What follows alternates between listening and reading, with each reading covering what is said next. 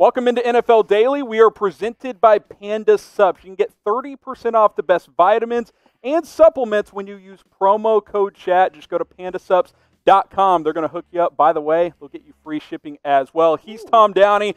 I am Harrison Graham. Lots of NFL news and rumors to get into on today's show, including news coming down in the past 10 minutes mm. or so, Tom. Lamar Miller heading to the New England Patriots. Yeah, this one is a done deal. Just came across the wire. Literally like, a, what, 10 seconds before we started the show here. That is a done deal here. Miller has agreed to a, well, not technically a done deal, excuse me. This is a to be finished deal. It is pending a physical, a one year deal for Lamar and Miller and the New England Patriots. This is noteworthy to me, Harrison, because yes, Brandon Bolden opted out, but we know he's mostly a, a special team option Yep. for the New England Patriots. It's noteworthy to me because it makes me wonder if, hey, you know what?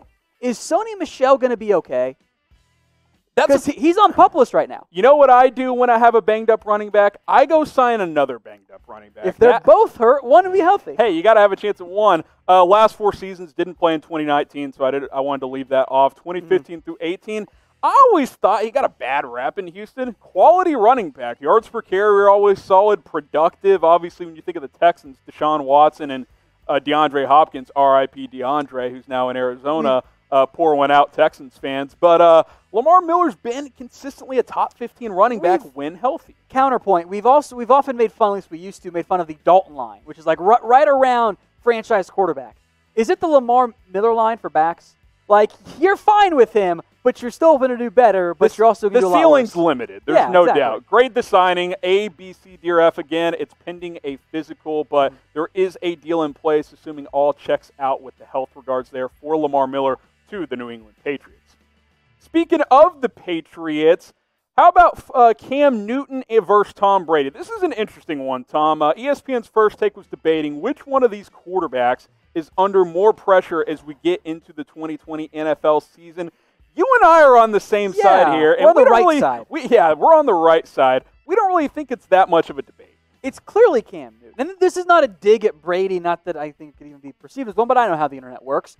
If you're Tom Brady, your worst case outcome is, oh shoot, I'm not as good in, in, in, in Tampa because I'm old. Yes. And then I just ride off into the sunset as the greatest quarterback to ever play the game. Oh well. If you're Cam Newton and you're bad again in New England, your chances of being a starter are pretty much done. Your career's probably done because Exactly. at that point, you're not bringing in Cam Newton to be a probably.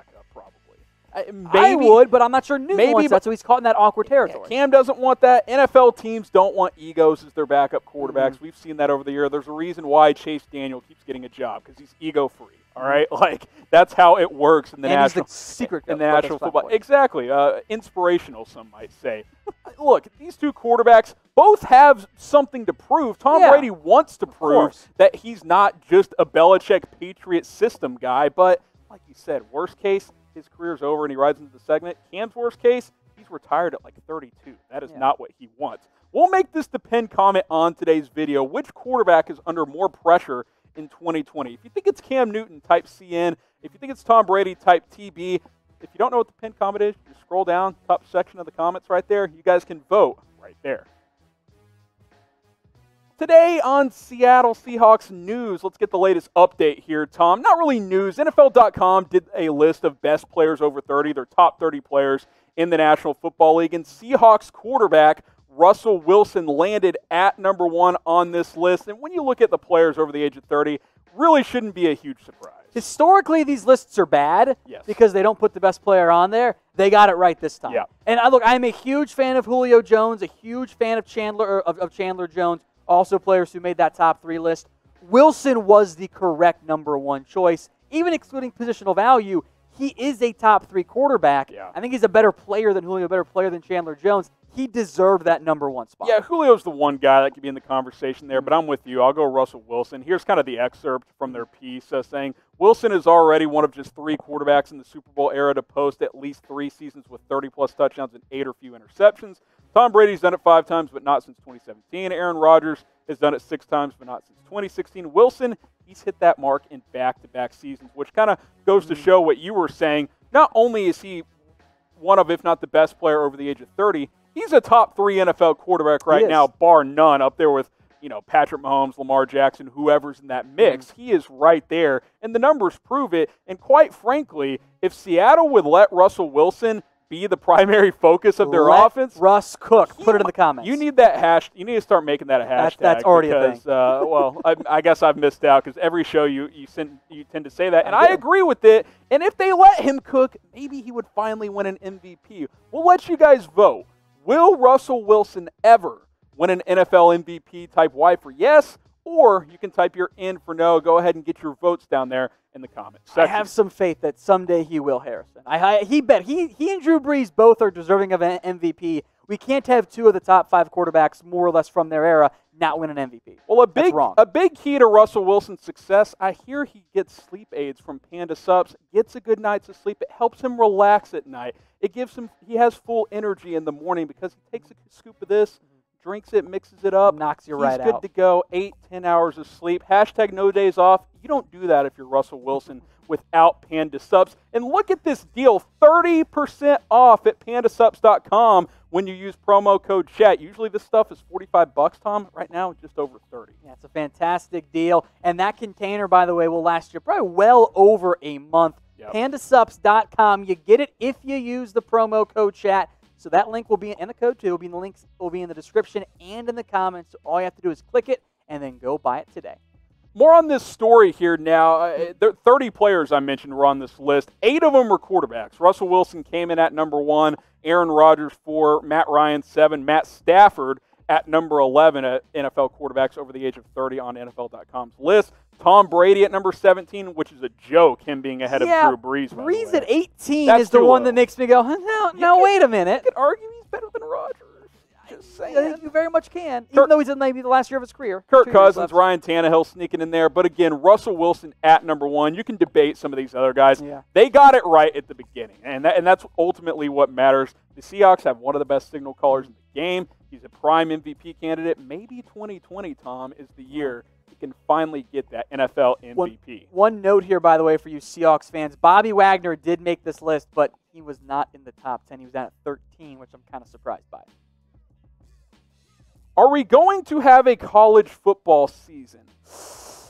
Eh, that depends on who you ask. So the latest here, which by the way, this coming through just a few minutes before the show, so we don't have the text up for you guys. But the Mountain West is the Mhm. latest to cancel, so keep that in mind as well. That is noteworthy. But the Big Ten seems to be leading the charge among the Power Five conferences, Tom, about having concerns about playing this The, the problem I have right now is we are completely all over the map yes. in terms of what's being reported, what's going on. So we'll do our best to condense it down here. It kind of seems like some of the higher ups, the presidents, are more in favor of canceling. The players, though, they're they're making a, a big push to play this Yeah, year and, and coaches are even making a push as well, including Jim Harbaugh. Kind of the misleading thing you're talking about, Mm-hmm. the kind of all over the placeness. This is from Dan Patrick earlier this morning, someone who's well regarded Mm-hmm. in sports media. By the way, he's been doing uh, doing it for about 35 years. According to Dan's source, uh, 12 of the 14 presidents for the Big Ten have vetted against a fall college football season. Iowa and Nebraska were the two that have been pushing to play. By the way, Scott Frost, Nebraska head coach, strong this afternoon during his presser advocating that they should play. This, though, a little bit conflicting from Nicole Auerbach, who covers college football uh, from a national scale for The Athletic. Big Ten spokesman says no vote has been held by our presidents or chancellor. So, you know, whose information is accurate? Here's what I think in regards to that it's an informal vote. They Okay. haven't taken a literal, you know, technical, like, once we vote, there's no going back. It's on record. That's That just gauging the, the teams in the conference. That's what I believe. I think they feel that Nebraska and Iowa have been pushing hard Mm-hmm. back against canceling, whereas the other 12, at least from a presidential standpoint, are more in favor of either postponing or flat out canceling college football. So we'll leave it up to you. Will there be a college football season this year? Type 1 for yes, type 0 for no. hope there is. God, I hope need a football. It's my season, favorite man. sport. It's I so need college fun. football. So I- Please. I hope there are. I, I hope we see ones, but it is understandable, despite there really not being much change that led to all of a sudden the chaos. It is concerning here. And you mentioned players are fighting back, and kudos to Trevor Lawrence, regardless of what side you're on, regardless of if you think it's safe or not. Mm-hmm. when a player who doesn't even need to play this year, mm-hmm. because that's the case with Trevor Lawrence. He could have opted out and been the number one overall yeah, pick. exactly. He could opt out, go train for four months, and get drafted in April, number one overall. He is leading the charge to try and play this season, and that says a lot. Mm-hmm. And that tells me a lot too, because when I was younger, you saw more of this. I think where players they, they, they revered playing college football, whereas nowadays it's really just a path to the NFL. And I cert, I understand that to a certain extent. For a lot of these guys, look, they gotta they gotta pay for their families. They gotta take Yeah. care of their families. But this is their livelihood. yes, Like this, this matters to them both, both, both for long term. That's why Trevor Lawrence. That's why Justin Fields. That's why these top players are taking that leadership role, which I, I am very impressed by. Yeah, and you're seeing Lawrence awesome. Lawrence's tweet there. He also organized a Zoom call among some major players in college football. Justin Fields, another guy who doesn't really need to play this fall, probably needs to a little more than Lawrence, but Yeah. certainly doesn't have to from a draft status standpoint. That hashtag we want to play, Mm-hmm. that was the number one trending topic on Twitter last night on the way into this morning. So this is a big discussion, and it, it factors into the NFL in a multitude of ways. My my hope would be that even if the NCAA and the presidents decide to go in a different direction, I would hope they at least listen to the players since in recent years they haven't really listened to the players' voice at all. And at least explain, if you can't do it, at least be clear and explain to them and to the public, quite frankly, why it can't happen. Look, if, if you explain to me this is why it can't happen, cool. Like I got I got no problem. It sucks, but it is what it is. We saw this coming to a certain extent. We're up against it now. I got about a month to figure this out. Really less time if you think about trying to gear up for the season. So Lawrence coaches, Jim Harbaugh released a statement. They're trying to salvage the season. We'll see what these higher ups among these conferences decide to do. Now, college football may not happen this year. The NFL probably is, though. They're not going anywhere, and neither are we here at Chat Sports. So subscribe to the channel. When we started our live video, we were like 30 subs away from 185,000. can do Tom, it, baby. Let's get Let's there. get to Hit it. that big red subscribe button. We get to 185K. Next milestone, 200,000. We can only do it with your help. So go ahead and hit that red subscribe button right now. And more on this, by the way, the NFL, well, they're seeing green money bags, Tom, if college football doesn't happen. Which, in, in, if we're being honest here, if we're ready to have the mature adult conversation, that's a big reason why NCAAs and college a little bit concerned about going full scale with, with the with the players and letting them play and, and going union route and all that. But if you're the NFL, and if there hypothetically is no college football, ESPN, CBS, Fox, all those all those stations and TV channels Yep. that normally have games on now don't.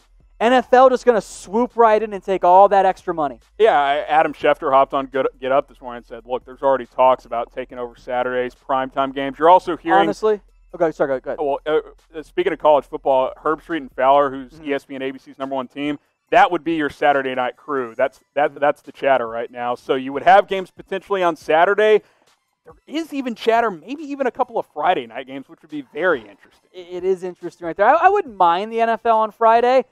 I uh, I don't think there's too much of the NFL, and not only that, like the NFL is worried about, about their salary cap.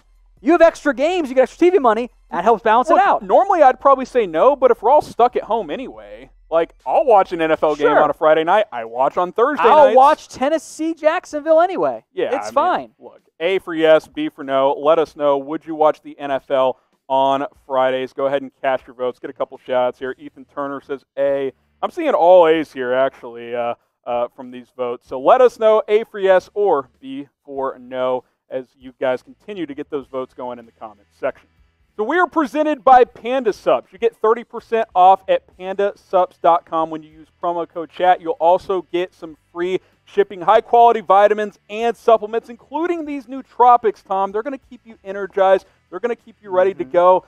Sometimes you're not feeling feeling a workout. You take some of these, you're feeling better. You got that energy back. You, you're able to rally and get back into the gym, which is what I need to start doing. Yeah, so hit, hit us all hard. Panda Supps, yeah, you know, Corona hits us all differently. PandaSupps.com, get 30% off when you use promo code CHAT. That deal right there, 45 bucks down to 31.50.